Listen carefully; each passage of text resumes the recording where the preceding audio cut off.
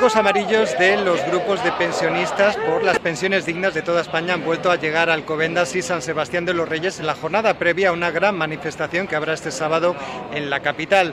Siguen teniendo las mismas reivindicaciones. Hoy hemos querido hablar con algunos de ellos para saber cuáles son, para recordarlas y para ver cómo ha ido este viaje. Con respecto a las reivindicaciones que, que seguimos haciendo, que hemos hecho y que seguiremos haciendo desde el 15 de enero del 2018, son eh, la subida de las pensiones con el IPC, que de momento se, ha conseguido, digo que de momento se ha conseguido porque este año, como el IPC ha subido tanto por la caristía del gas, de la energía eléctrica, de los productos y demás, eh, seguramente que sobrepase el 3%.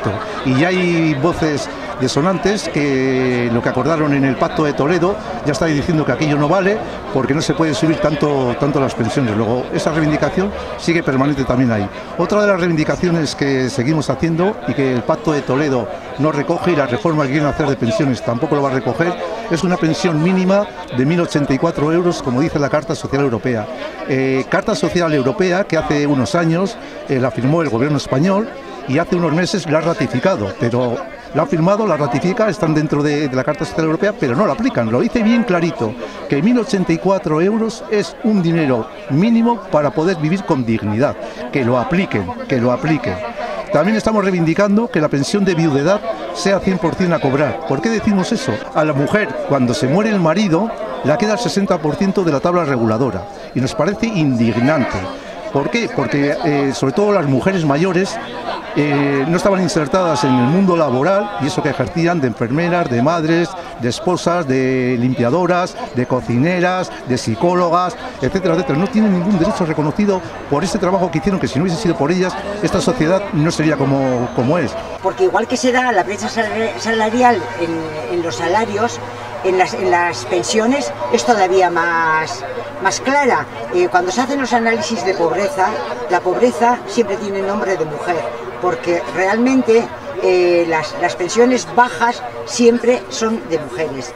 Esto también hay que tener en cuenta que es toda una generación eh, de mujeres que por las situaciones que, había han, han, hecho todas las tareas que no, se supone, han trabajado toda su vida, pero no han no hay, ¿cómo suelo decir? Eh, trabajo, eh, trabajo ya tengo, lo que quiero es un empleo. Empleo no ha sido reconocido, aunque hayan sido las enfermeras, las cuidadoras, las cocineras, las administradoras de las unidades familiares. Eso ha repercutido que en las pensiones, y más con el tema de las viudedades, en que se va un 60%, pues hay una brecha gravísima de pobreza en las, en las pensiones ese tipo de injusticias es las que nos han impulsado. Y luego también el, el generacional yo tengo estas posibilidades, pero no tengo ninguna certeza de que mis hijos, mis nietos vayan a tener, con la debacle del sistema público de pensiones, vayan a tener la situación que yo pueda tener. Entonces, esa es una de las razones que nos impulsaron a caminar y a lo que sea.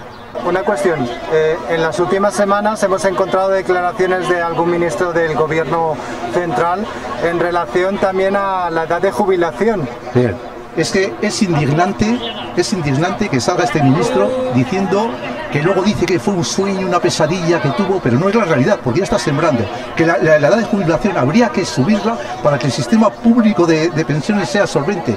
Tiene una caradura de espanto.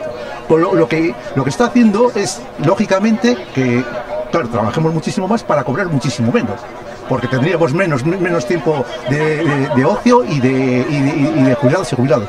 Cuando en este país el 40% de la juventud no tiene trabajo, dice que las personas eh, mayores tienen que trabajar hasta los 70 o 75 años. Es que es de guardia, es que este hombre es, es incongruente, no sé qué pinta en el gobierno, es que tiene que haber echado a boinazos del gobierno, que le pregunte a la juventud, que le pregunte a la juventud, y cuando una persona mayor de 60, 63 años va al desempleo, ningún empresario le quiere contratar porque dice que es, eh, que es viejo. Entonces, ¿en qué quedamos? El sistema de pensiones público es solvente 100%. Por eso hemos pedido una auditoría de las cuentas de la seguridad social para saber cuánto dinero había desde finales de la década de los 60 del siglo pasado hasta hoy día. Que se haga la auditoría pública para saber el dinero que había, lo que hay, quién lo ha sacado ilegalmente, para qué y con qué objetivos.